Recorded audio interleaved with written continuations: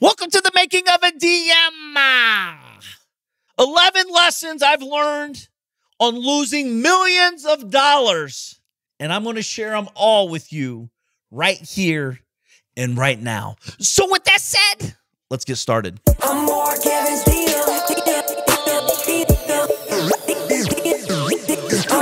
Evans, I'm here to help and teach them what I, what I know ain't no question Mark Evans when he step in the door. He's closing deals. Time to tell him what the DM stand for. I'm a deal maker, a deal maker, but I'm not just a deal maker. I'm a dream maker. Hey there, it's your boy Mark Evans, DM. Welcome to another Making of the DM podcast show. That's right, you are the deal maker and dream maker of your life. As I'm sitting here in beautiful Ohio, smoking a cigar down in the cigar lounge at the house. It's late night, about eight o'clock. I will be in bed by nine, though. Trust me on that. I wanted to do a podcast show here today before I head out. I'm getting ready to head out for three days to go to a big event. There's about 14,000 people hanging out in Boston, and uh, I'm an attendee.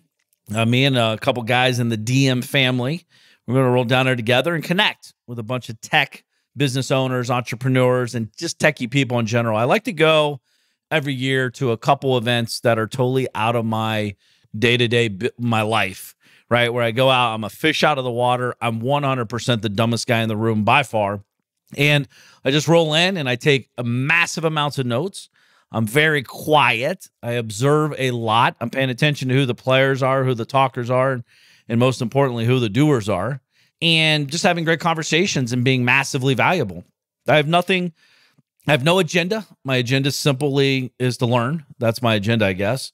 I'm not going there to make money, but typically from my experiences, there's opportunities galore in rooms like this because they want to know what I know and I want to know what they know. And uh, sometimes that works, sometimes it doesn't. But also, I have another one I'm going to. It's a big um, agriculture event where there'll be about 1,500 people in a room. This is actually beginning of next year. And I'll be sitting in a room. And again, I'm not in the agriculture business. But guess what? Agriculture people are very smart business people, hardworking, smart business people, and um, they own a lot of real estate. I do real estate. I'm a full time real estate investor as well, and uh, they own lots of companies. They they do a lot of cool stuff. So I like to go in these rooms just to kind of observe, see what people are talking about in different industries and different opportunities that exist, and uh, just expanding my brain. Um, and these costs, these are investments. I mean, the event I'm going to, um, I leave tomorrow morning. I don't even know what it is, about ten thousand dollars, give or take, two about three days of my life, and probably ten to twenty grand. I, I don't I don't know, ten grand at least, and um, go there and learn. And um, I'm always amazed that people don't do this get out, shake hands, meet humans, connect with people, have great conversations, and all that. But um, I'm getting ahead of myself as I always do. I get excited to talk to you guys here. I just want to take a second and say thank you guys so much. If you're brand new to listening to the show, welcome. It is a very real, raw, direct, um, as if you're sitting here in my cigar lounge with me smoking a cigar. If you don't smoke a cigar, you don't have to, but we're us talking and me guiding you on my 28 and a half years lessons in life and in business. Um, and my goal is that you make a lot more money than I do and uh, avoid a lot of pain and you know, problems that I've dealt with over the years and continue to do and uh, just make you better. Um, I have nothing to hide. I'm here to share everything with you openly and raw. I wish this existed when I was starting out. Um, I'd be a thousand times bigger. Some people will listen to my voice and say, "Man, I like this guy." Some will say, "God, this guy's a pain in the ass and cusses a lot and he screams a lot or whatever." And that's cool too. I'm not for everybody, but I am for somebody, and I hope that somebody's you. So, if you guys are listeners and you've been here for a minute, you know I always talk about sharing the show. Um, I do this every day. Um, I make it a point to share any show I'm listening to to at least three people I care about. Could be my wife, could be my buddies, it could be anybody I know or thinking about. If I'm listening to a show and I hear something, I'm like, aha, that's a great lesson. I'm going to send that to my wife. Hey, hon, listen to show this show uh, between minute 15 and 17. Big point here, and uh, and or just tell her to listen to the whole show. Uh, I do this to lots of people in my companies. If I'm listening to management, productivity, vision, frameworks, ideas, etc. So share the show. I do this for free. Um, I don't do ads. I don't do any of that crazy stuff. So take a minute and share the show. It actually takes about 12 seconds. Um, if you have, if the show's impacted you at all, love for you to leave a review five star review at any of the big sites that you're watching and listening to me on. Um, that means a lot because that gets pushed up in the algorithms. People get to see it and we can help more people. And that's why I'm here to help people. So today's show, last week's show was huge. I've had more downloads on in that show than I've ever had. It's an about, and if you haven't listened to it, you should listen to it. I don't want to give it away, but like it is a very impactful, profitable show for you as a listener. If you're struggling, beating yourself up about trying to grow a business, I'd recommend you stop growing a business and go listen to that show and see why I say that. It might surprise you. So let's move on. So I'm sitting here just kind of doing some auditing. I call it thought auditing. If you read my book, Magician vs. Mule, I talk a lot about thought auditing. And what thought auditing is, is like, have you ever asked yourself where your thoughts come from? Where do they come from? Grandma, grandpa, mom, dad, mentors, this person, that person. And how often do you challenge your thoughts? Like, this is the way it is, and this is the way it always been. It's always the way it's going to be. Okay, well, that sounds just like my grandpa. And uh, you know, and uh, I look at my grandpa. He's a great dude. He's no longer with us. He hasn't been with us a long time, but like he didn't have what I wanted money. So he always had this ideology about money or lack of. Everyone's trying to take it. It's so hard to make, etc. I don't know if it's hard or easy. That's relative. Again, that's another thought. Who, what's hard mean and what's easy mean, right? I know it sounds like a bullshit answer, but that's the truth. You know, there's people I meet and they're like, man, that's easy. And I'm looking at it like maybe they're in the gym and they're popping up 350 benching well, it's easy to you because you've been doing it for 20 years, right? I've been doing business for 28 and a half years. So tonight I might say stuff's easy or hard or simple. But what I really mean is it takes experience and it takes you doing the work to discover what's easy and hard for you. And um, I was just thinking about, I took a lot of losses in the last three years. I'm talking like major, major, multi, multi, multi, multi millions of dollars of losses. I'm an investor by nature. That's what I've been doing my whole life. I have risk tolerance. Um, it's not a, and by the way, every every time I lose, I get mad at myself and realize, man, why didn't I do that or whatever. So I took some time and I wrote down 11 or 12 lessons that I want to share with you today. Hopefully, this will help you through the journey of investing um, because being an investor is an amazing thing to be. You know, it's really cool getting money coming in daily because you made investments. There's a one thing working for money and there's an amazing thing when your money's working for you. And inside of that, sometimes we have to work for free.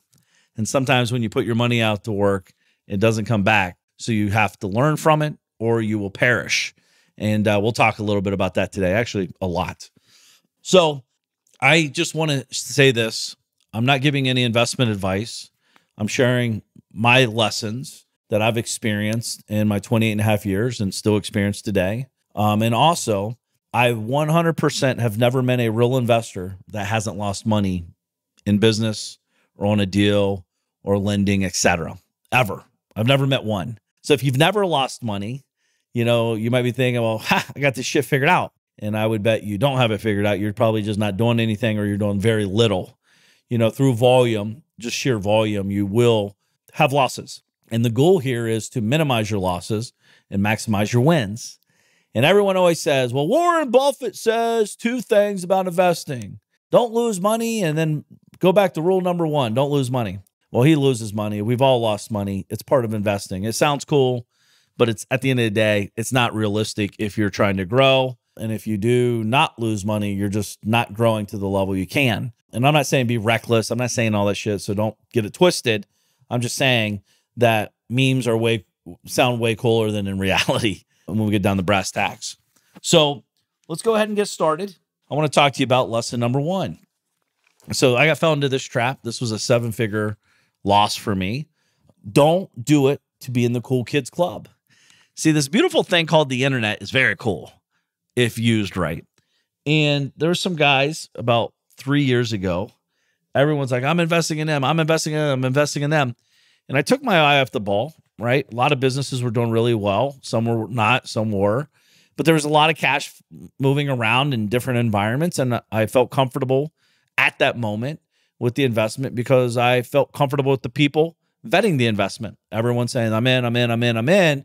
Therefore, I tossed in money, not doing what a real investor should do. Even though I am a real investor, um, investors break rules sometimes. And this rule cost me millions of dollars and lots of my buddies, many millions of dollars as well. uh, to the tune of nine figures to, as a collective with me and my buddies and all that good stuff. So I do want to share with you. It's I, I was watching these people from social, and I used social media as the gauge if it was working or not. What I didn't realize, and, and by the way, the people I'm talking about still are online. They're still doing the same shenanigans. It's just a lot of people are starting to catch on because they're good at getting your money, but they never pay it back. They never pay royalties. They never pay anything. They have this amazing lifestyle. They have their jets, they have their cars, they they have some cool stuff that looks like online, but their life's in shambles. They're cheating on their wives. They're you know cheating on their business partners. They're stealing money from us, and you know it is what it is. It's it, this happens. It's my fault. At the end of the day, 100% accountability is my fault because I made the decision. No one held a gun to my head or any of this crazy shit. I made the decision to make the investment. I sent the money and it's never coming back ever. Now, it sucks. And we'll talk about more lessons inside of that, but it's part of the game. And the point here is don't do it just because cool kids are doing it. By the way, this happens in every level of you know lifestyle. If you're you know in the lower level middle class level or upper top super super top right? This is a bernie madoff thing back in the day. You know oh that guy has 400 million in it. I'll toss in 100 million. What's, i mean this guy vetted them they've been around 23 years blah blah blah or whatever. I i don't know the gig but like whatever it is that's kind of how that stuff works. And that means being in the cool kids club um, like just to say you're part of it I was doing it to be a little strategic, to be honest with you. But once I got installed how the sausage was made, I realized I didn't want to be a friends with any of these individuals. And I requested, you know, send me some money back. Um, I didn't care if it was all, just send me something because I knew it was built on a house of cards once I got in there. Um, if I was smart, I would have realized this prior and I'd have never made the investment and that money would be sitting in my bank account now. So don't do it to be in the cool kids club. Lesson number one. Lesson number two Trust, but verify. Again, I trusted these people, but I never verified. My verification was through other people, not through fundamentals. Get inside the business. Let's look at the P&Ls. Let's look at products they've really created. Let's see what's working. Let's see what's not. Let's get a gauge of what's going on in the market. Let's see if this is even a valid thing. And does it match my investment strategy? Does it match my outcome of what I'm seeking? Like trust, but verify. Verify numbers, verify relationships. And what this is for me is honestly is slow things down. My personality is I like to go fast. That works really well sometimes. It works really bad sometimes. It's really happy median's tough. And again, I'm just shooting straight with you. This is a personality thing. Is like I'm ready, fire, aim. This particular situation, it should have been ready, aim, aim, aim, aim, aim, and maybe fire. So slow it down and trust, but verify. Lesson number three have a clear understanding of your collateral, assets, or investments, meaning know the risk versus reward. If you're not okay with worst case scenario, do not do the deal. Let me say this again. If you're not okay with worst case scenario, do not do the deal. In this particular situation I just shared with you, I was okay with worst case scenario because I didn't believe it would happen because there was too many cool kids in the club Therefore, I thought there's no way in hell these individuals would steal from all of us. And they did. So, what I mean by have a clear understanding of collateral assets and investment strategy is what kind of collateral are you getting? In this particular situation, there's no collateral. I was investing in a business, right? I was investing in a business. So there's really never collateral. It's more like, hey, I'm going to put some money here, hope like how it works. And if it does, here's what the returns look like. If there's assets, like what's cool about real estate is if I invest in a hundred thousand dollar house and I give them 50 grand, worst case scenario, I get the house back and I have to do some work to get my money back, but I could liquidate it for 50, 60, 70. Maybe it's fix it up, make some more money. I don't want to do that as an investor. Um, if I wanted to do that as an investor, I'd simply do it myself and I have to deal with an individual. I would just do it because it's a lot quicker, cleaner, and easier. And I know how to do that as well. So I am dealing with a couple deals right now, six to be exact, with investors in real estate that did not pay back. And they're doing the right thing. This individual is doing the right thing. And he's simply deeding me over some assets. I do not want them. I will not keep them. I'm actually going to have them sold before I get them taken back this week, actually, while I'm traveling. They come back into my portfolio and I will liquidate quickly. I will not recover 100% of my money not because I can. It's because I, I, I'm looking at velocity of money. We're coming into winter. These properties are in Pennsylvania. I don't want to hold assets in Pennsylvania during the winter in this asset class. They're too small. It's a distraction. So I'd rather take 70% of my money that they owe me, do a fast liquidation, give an investor a great deal. I get some of my cash back and I take that 70% on and I move on with my life and I go create more income with those investments for velocity of money. Again, no velocity of money. If you don't understand velocity of money, it's like, you know, is 100 grand today better today to have in your hands to go do something? Or would you rather have $150,000 in 10 years? I don't know the answer. I know what my answer is. Give me the 100 grand a day. I'm going to go make money. So sometimes that happens. You liquidate for a discount and you move on.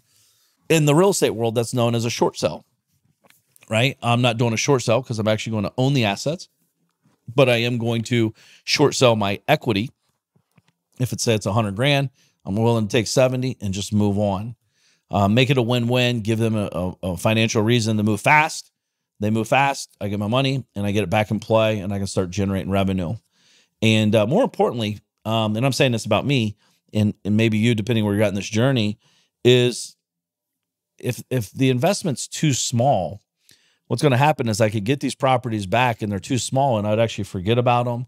They would go to by the wayside. There's tenants in some of them, some tenants not you know, it's in the winter, the property lines freeze because the management didn't do their job or what, you know, all these things, these thoughts and these problems and these things that can occur.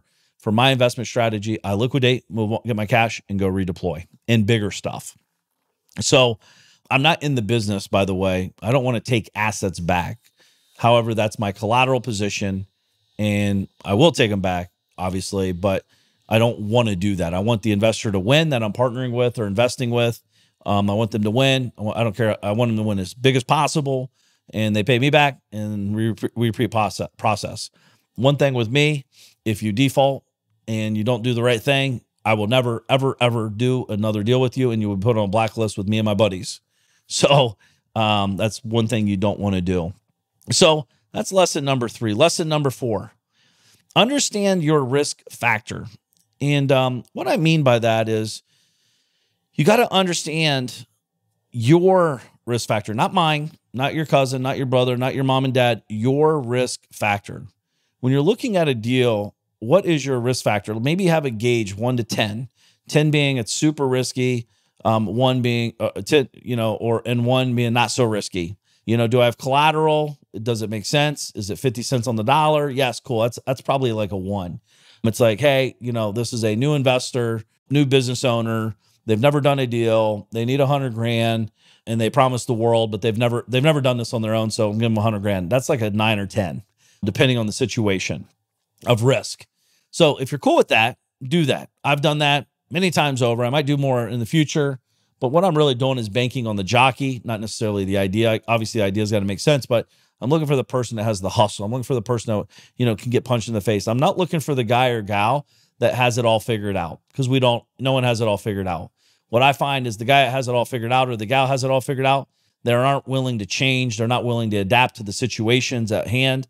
Um, and they just dissolve and they move on. And they're like, oh, sorry, it didn't work, but I learned a lot of lessons. It's like, wait, you learned a lot of lessons on my money.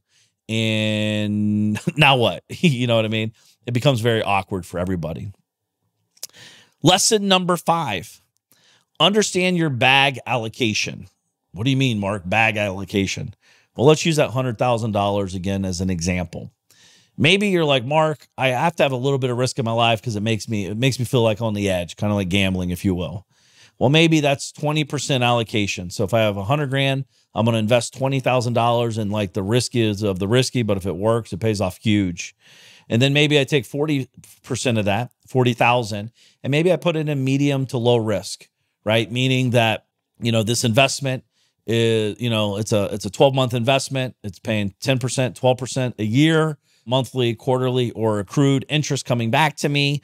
Ideally it's monthly or quarterly max by the way. But you know i just want to see some drips coming into my account keeping me focused keeping me excited. And then i might take another 40000 which would be the last 40000 and i might put that into a simple cash account. And i know a lot of people like dude if your money's not invested it's cash blah blah blah. Could make so much more my money can always make more, but it also could make less. And not only that, I'm looking for liquidity. So if you put it in a high interest bearing savings account, making five, five and a quarter, that money becomes very liquid. The problem is at $40,000 for anybody like you or I, 5% is only two grand. It's not changing our life. And that's where we fall into the problem. Because my goal is that it's not 40 grand, it's 400 grand or 4 million in the future if you do what we share and you learn on the making of the DM podcast show or you're part of the DM Alliance or DM family, right? Like, how do you get that to 4 million or 40 million sitting in, and uh, you know, an interest bearing account popping off 5%? Now that starts getting interested. Now it's not 2,000, now it's 20,000, now it's 200,000, now it's 2 million a year popping off to you. I know it sounds crazy right now, depending where you're at, but that's very, very, very, very, very doable if you are building companies and creating revenue and listen to my last show I did last week and, you know, get out there and make some money. So, and again, you could play around with these numbers. Maybe like, screw you, Evans. I'm 100% full risk. Let's go. Do it. I'm cool with that. It doesn't affect me. I'm just trying to make your life better. I always understand downside. I understand my bag allocation. I know how much access of cash I need, not just for my investments, but also for my businesses, right? So, you know, are you investing in money or businesses or whatever? Okay. Lesson number six you must create better underwriting processes. So when I'm taking L's, I get pissed, as we all do. But I don't get pissed at them. I get pissed at me because I made the decision. I said yes. I sent the wire. I did the deal. They just brought it to me. I could have easily said no. They'd have go found someone else, but I didn't. So what it does though is I sit down with my lawyer or whoever that's helping me do what I do. And I talk to him about how could this be better? How could have we caught this? How could have this been avoided? How, what can we put in place to protect us? What can we add to the underwriting process to make sure we have better collateral, more visibility, um, et cetera. So you just get better at underwriting deals. And for me, what I've done over the years is I personally, and since the last, probably the last 18 to 20 months, is I actually deals come to me daily. I get deals every day from folks like you listen to my voice, people on social media, and just people I've done deals with over the years. They send me deals literally every day and I say, hey, thank you. And I send it to an underwriting team and they underwrite the deal. And then it's hands off with me. And the reason is, like I said earlier, is I tend to move fast. I tend to like people. I tend to like, I'm very optimistic. I want to be a part of stuff. I like seeing people grow. I want to see, I want to help them grow. Like I genuinely like that. That's why I'm here for free teaching you my lessons because I want to help you grow. And um, so I send it to an underwriting team and that's my buffer. It minimizes my losses. There's still losses in there sometimes. Very rarely, though, percentages wise, it's drastically lower than if I'm doing the deals myself. I, am just not good at it. And um, I've realized that over the years. I've tried to buck the trends. I pay attention to data now, and um, it's worked out very well. And you got to pay these guys for that, but it's worth it in the long run. Lesson seven you have to say no more. Yes, it's okay to say no, but Mark, they're my friend. Cool. They can still be your friend, just not with my money. right? Like, I have friends I don't invest in, not because I don't like them. It's actually because I do like them, but I don't like their strategy. I don't like their execution, and I don't like the way they they make moves. I pay attention to that kind of stuff because that's bit me in the butt, like I said earlier. However, lots of my friends ask me for money for deals and business and stuff they do. I say yes, send it over. Goes to underwriting, and now I'm not the bad guy. My underwriter says, no, it just doesn't fit in our wheelhouse. I'm not the bad guy. I can guide them on what I would do differently, how I'd present it differently, how to go source money somewhere else differently. But it's okay to say no. I wish I'd have said no a lot more, um, but I didn't. And I am now. I'm saying no a lot more. Lesson eight they have to have skin in the game. Oh, this is a big one. I had a guy snag me for a lot of money out of Philadelphia. He um he says he wears his heart on the sleeve. He's like this real honest guy. He's a hardworking dude. Blah blah blah blah blah blah blah. Well, what I didn't realize he was so full of shit talking that he didn't have time to do the deals and actually close the deals. And the reason I bring this up is because I was bankrolling a hundred plus percent of his asset, his business, his real estate deals, and um, he wasn't doing the right thing. I wasn't trusting and verifying. I was sending money loosely because I thought he was a buddy of mine. And uh, he was in my ecosystem for a long time. And I just come find out he was just a con man. He was literally out there stealing from me. Um, a guy that's helped him a lot. I helped him make a lot of money. And um, he just didn't do the right thing when it came time to do the right thing.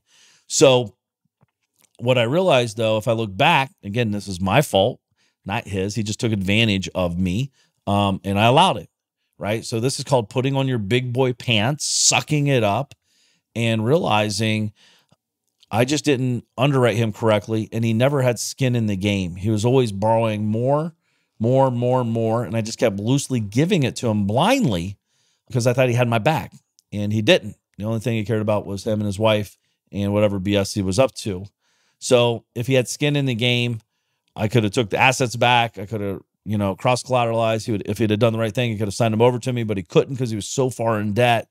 He ended up going BK and just cutting his loss and moved on with his life. And I haven't talked to him since. So again, looking back, big boy pant time, they have to have skin in the game.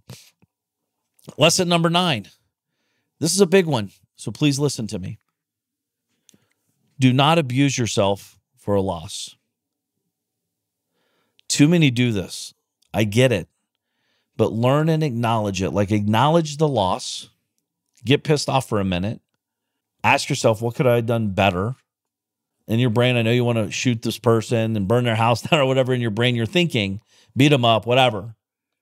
But realize if you're in control, you made the decision, you said yes, no one held a gun against your head to make you do this.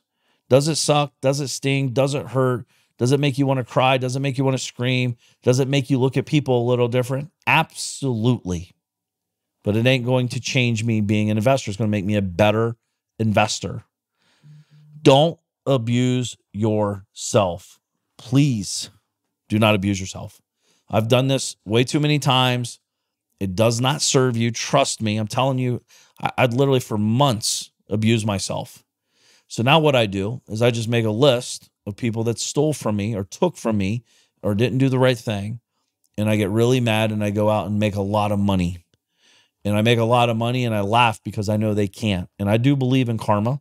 Karma works in both ways. I literally say, hey, karma's on you, brother. Karma's on you. And I move on and I get to work. Because if not, what happens is they keep winning. They keep winning. They keep still like you like literally you keep losing and they keep winning.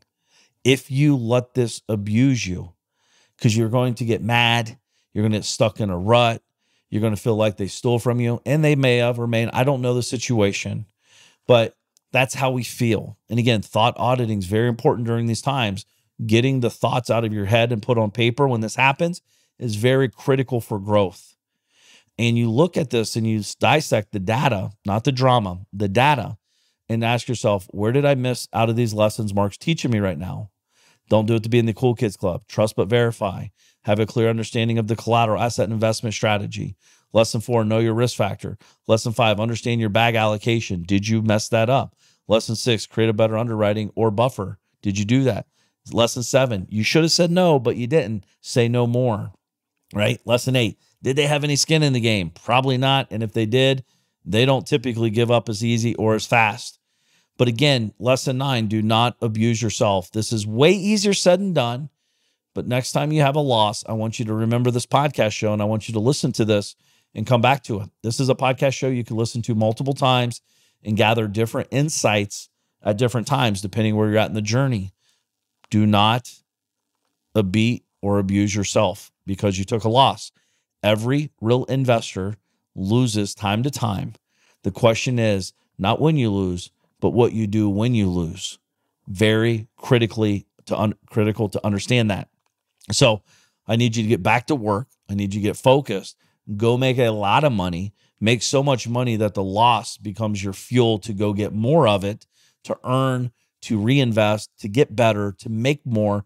And remember, the individual that took from you, they're still going to be a peon they're still going to be talking talking shit. They're still going to be doing what they do, and karma will catch them when karma catches them. Very important. Lesson 10. this is going to sound silly, but I see so many people do it and lawyers love it. Stop throwing good money into bad. Lawyers absolutely love to get you riled up. They love to tell you stuff like, dude, we're going to take, we can take everything we can do, blah, blah, blah. Again, if you think you have a shot, I guess do it. But I promise you, 90 plus percent of these, the lawyers make all the money. And not only that, it's a very slow and expensive process. It could take years to prove a point. Years. And by the time you're ready to prove a point and you're six figures deep with lawyer bills, then they go BK and then you get zero. And or they something else happens and you get zero. And or let's say you win, you very ultra ultra ultra rarely get anything max like anything worth it back and the lawyer loves to get you heated in these situations. They will talk you into it I'm not saying uh, do what you want. You're a big boy or girl listening, but I've seen too many throw good money into bad situations that will never pay off. Not only move the money to the side, the emotional warfare. It's like an ex, right? Like an ex girlfriend, an ex boyfriend, whatever you don't like. It's like literally, or an ex husband or ex wife. You literally go through two, three years of a divorce. And for the next two or three years, they literally, it's a mind control game you guys are playing games back and forth, back and forth, back and forth. They keep winning when that happens. Cut it and go earn. It will be way more productive, way more enjoyable, and way more profitable as opposed to letting a lawyer get involved and fucking doing what they do. And they will, they will literally promise you the world, give you the insights, tell you stuff. But now you're on depositions, you're doing this, you're doing that, you're doing that. Like it's very brutal for everyone involved except the lawyers because that's how they get paid and they love it. so stop throwing good money into bad. And lesson 11 this one may shock you, but this is all perspective. Be grateful. You're like, huh? Be grateful. I just lost money, dude. What are you talking about? When this happens to me, I swear this is my default thing that comes to mind immediately. It could have been a lot more. And thank God I'm still alive. Thank God I still have my brain. And thank God I can go make money. And most importantly, thank God I'm not that dipshit. Those are the things that come to mind immediately when I take an L, immediately when I get taken advantage of. I'm not saying that to be silly. I'm being dead serious. This happens when an employee steals from me. This happens when a vendor steals from me. This happens when I loan money and they steal from me or don't pay back or whatever. I go immediately to gratitude and immediately I, I say, man, it could have been a lot more. Yes, I woke up. I have another day to go earn money. I don't want to lose, by the way. I'm just saying I switched the gears to gratitude, not frustration. Because again, beating yourself up is the number one reason I see people never get out of the rut. They just keep digging in the rut, digging, digging, digging, digging. And you know the best way to get out of rut? Stop digging. Get the gratitude, start building a ladder out of it, get out of it, and go build more. Go get more, build more, and be more. And I've had this happen many, many, many, many times. And it wasn't always gratitude. um, but when I shifted that many years ago, it really changed my perspective. It got me back down to reality and uh, got me very focused on working. Again, you're here listening to this podcast show because you want to produce revenue. You want to earn a lot of money, and you can do that. But it's hard to do that when you're dealing with a lot of negativity, a lot mentally, emotionally, and financially. So if you if if it if it is zero, you can't. I, I always have a saying: you can't get blood out of a turnip. So if they have nothing to get, and you're trying to get, you're literally working so hard emotionally, physically, mentally, spiritually to try to get something out of someone that has nothing. They don't have morals. They don't have they don't have they don't have anything. And you can't understand why they did what they did. But how can you understand it? They they they don't even like they're just we just messed up. We made a wrong decision. Own it, understand it, become better from it, and go get more money. Build a bigger business create better underwriting, make better investments, understand your bag, understand risk reward. Because remember, all this stuff takes way longer than you think. It's way harder than you think. But it's way worth it. It's so worth it. And all I could say is don't stop.